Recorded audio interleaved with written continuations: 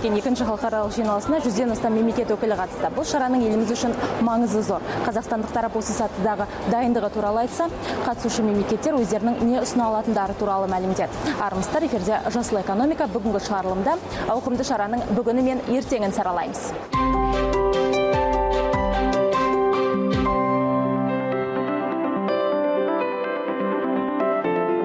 Елорда екі күнге экспо қатысушыларының ордасына айналды. Жобаның маңызды салалары бойынша таныстырылымдар өтіп мемлекеттердің көрмеге қатысу шарты талқыланды. Бүгінге дейін 75 мемлекет өздерінің осы шараға қатысатындықтары туралы келісімдерін білдірсе әлі де 30 елден жауап түседі деп күтілуде. Көрмеге 14 халықаралық ұйым тартылған. Сондай ақ ресей венгрия қытай халық республикасы және басқа да мемлекеттерден нақты қатысатындығы жөнінде бас аяғы 13 келісім шарт жасалды. Еліміздің солтүстік көршісі ресей көрменің мың шаршы метріне өздерінің түрлі саладағы жаңалықтарын алып келуге ниетті. Мы постарались заранее начать подготовку. Во первых біз дайындықты алдын ала бастап кеттік. Қазақстандық әріптестермен ұдайы байланыстамыз. Миланда өткен жиналыста да кездестік. Барлық құжаттар тез арада дайын болды. Ұйымдастыру комитетін өнеркәсіп және сауда министрі мантуров басқарды. Қазір тұжырымдаманы жасап бітіріп қалдық. Дизайнерлер инженерлер тартылды. Жобаға энергетика саласының мамандары жұмылдырылды. Еуразиялық экономикалық одақ бойынша серіктестермен де жақсы жұмыс істеп жатырмыз. Скажем тэко энергетики. Ресей комиссарының айтуынша көрмеге қатысуға ниет білдіргендер жобалардың тек сыртқы сәніне емес сондай ақ құрамына назар аударып жатыр. Яғни шараның басты тақырыбы жасыл жобаларға басымдық беріледі. Ресейлік тарап бұл тұрғыда өздерінің экспозицияларын аталған бағытта дайындауда. Всегда считалось э, ну в том числе и қазақстан мұнай газ көмір яғни шикізатқа бағынышты ел болып саналады. Мұндай тақырыпты алудың өзі батылдық деп ойлаймын.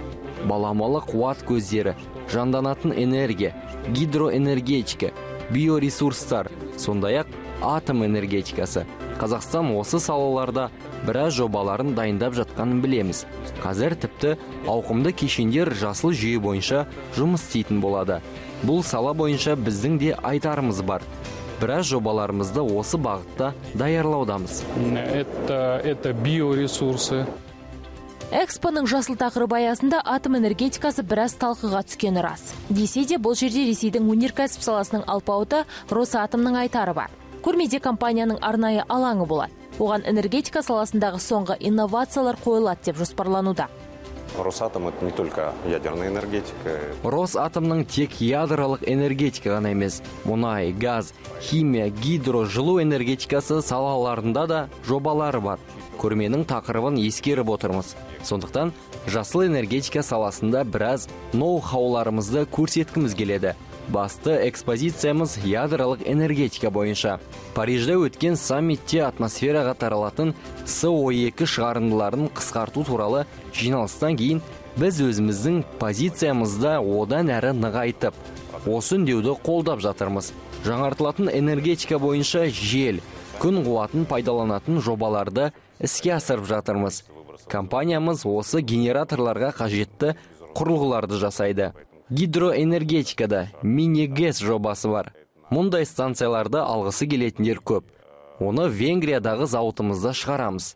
Атом энергетикасын түптеп келгенде қалдықсыз етуді қалаймыз.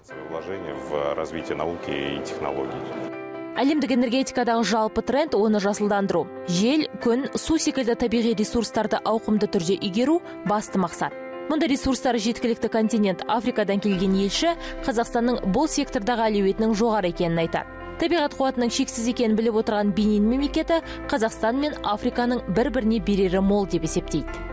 То, что Казахстан принял решение қазақстан бұл салада жоғары технологияларды пайдаланып жатыр. Екі континенттің климаттық жағдайлары бір біріне ұқсамайтындығына қарамастан экологиялық мәселелерді шешу жолдары бір. Табиғи ресурстарды сақтау мен экономиканы дамытуда экологияға басымдық беру керек. Қазақстанның экспоны өткізуінің өзі орнықты дамуға жасалған алғашқы қадамдардың бірі деп есептеймін. Біз өз тарапымыздан бар тәжірибемізбен бөлісеміз. Сіздерден де үйренеріміз бар. Страна или нет, энерго решает все. Литва экологиялық жағдайы түзу қоршаған ортаға қатысты ерекше саясат ұстанатын ел. Таза тиімді технологияларда бұл ел үшін таңсық емес. Литвадағы баламалы қуат көзінің жалпы энергетикадағы үлесі 20 пайыздың шамасында. Мұндағылар жаңартылатын және баламалы қуат көздері салаларында ұсынатын жобаларын ойластырып та қойған. Енді қалғаны көрме ауқымын белгілеп тұжырымдаманы бекіту. Площадка Экспо 2017 это, пожалуй, самая крупная. экспо азия континентіндегі ауқымды жоба. Литва басқа мемлекеттер секілді экспоға инновациялық жобаларын ұсынуға дайын. Күн жел гидроэнергетика секторларына біз де басымдық береміз. Энерготиімділікке назар аудару басты міндет. Елбасыларыңыз нұрсұлтан назарбаев төрт өнеркәсіптік революция туралы айтты. Барлығының негізгі көрсеткіші энергетика. Ал экспоның басты тақырыбы болашақ энергиясы. Энергии и за счет транспорта. Дүниежүзілік көрмеге қатысуын екі ай бұрын растаған тағы бір мемлекет австрия. Осы елдің жергілікті компаниясы өкілінің айтуынша көрмеге арқау болып алынған болашақ энергиясы тақырыбы дамыған әрі дамушы елдерге де ортақ. Бұл австрия бизнесі үшін тек қазақстандық қана емес сондай ақ барлық орта азия нарығына шығатын үлкен мүмкіндік. Австрийское правительство еще австрия үкіметі өткен жылдың соңында көрмеге қатысатындықтарын шешіп қойған. Үкімет тарапынан комиссар да анықталды. Ал көрменің тақырыбы бізге өте жақын. Себебі австрия таза ландшафтысы таза ауасы бар мемлекет. Табиғи қазба байлықтарымыз аса көп емес. Сондықтан баламалы қуат көздерін біз біраз жылдардан бері дамытып келеміз. 80 жылдардан бастап ақ халқымыз күн панельдерін жел генераторларын биомассаны пайдалана бастады. Австрияда электр қуатының 70 пайызы гидроэнергетика арқылы келетінін де атап өту керек. Сондықтан бұл тақырып бізге таңсық емес. Бұл тұрғыда тәжірибеміз көп. Қазақстанмен одан басқа да орта азия мемлекеттерімен сол тәжірибемізбен бөлісуді қалаймыз. И довольно активно все уже началось с 80-х. ең алғашқы дүниежүзілік экспо 1851 жылы лондонда өтті. Төрт жыл өте парижде ұйымдастырылды. Дәл сол кезде францияның қазіргі символы эйфель мұнарасы көрме үшін арнайы салынған. Еді дүниежүзілік әмбебап көрмелер араға 5 жыл салып өткізіліп тұрады. Өткен жылы ол миланда ұйымдастырылды. Көрме алаңы 1,7 миллион шаршы метрді құрады. Осы шара кезінде миланға 30 миллионға жуық турист келген. Ел үкіметі көрмені жоғары дәрежеде өткізуге 13,2 миллиард еуро бөлген екен. Uh, uh, көрменің тақырыбы азық түлік қауіпсіздігіне байланысты болды. Бұл мәселе бүкіл әлем үшін өзекті. Сіздердің алған тақырыптарыңыз бұдан да маңыздырақ деп ойлаймыз. Қазір экология проблемасы тек қазақстанда ғана емес бар әлемге ортақ.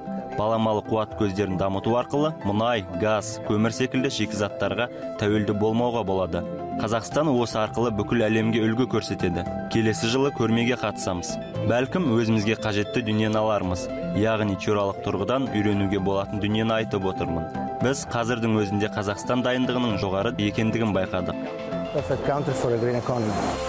Экспоны шар тарапқа таныту жұмыстары қарқынды жүруде. Түрлі көрмелер фото видео байқаулар ұйымдастырылып жастардан кәрілерге дейін осы шараны жарнамалауға жұмылдырылған. София иманғалиева үшін экспо қозғалысы таңсық емес. Осынау 1970 жылы лейпциг қаласында өткен көрмеге қатысқан қария.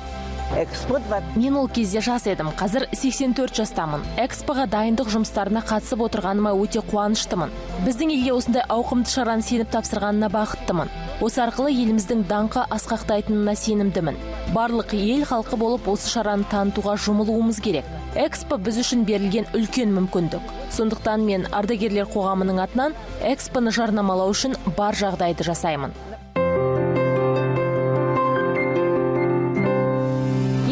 Мұндай ауқымды шараның өткізілуі еліміздің атын оның ішінде астананы әлемге әйгілі етеді яғни осылайша ұлттық бренд құрып алуымыз мүмкін. Ал бренд қашанда қымбат бағаланады.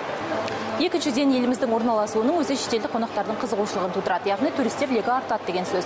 Үшіншіден инфрақұрылымдық жобалар мейрамханалар мен қонақ үйлер салынып демалыс орындарының көбеюі ел экономикасының артуына сеп болады. Бүгінге осы эфирде келесі көріскенше аман сау болыңыздар.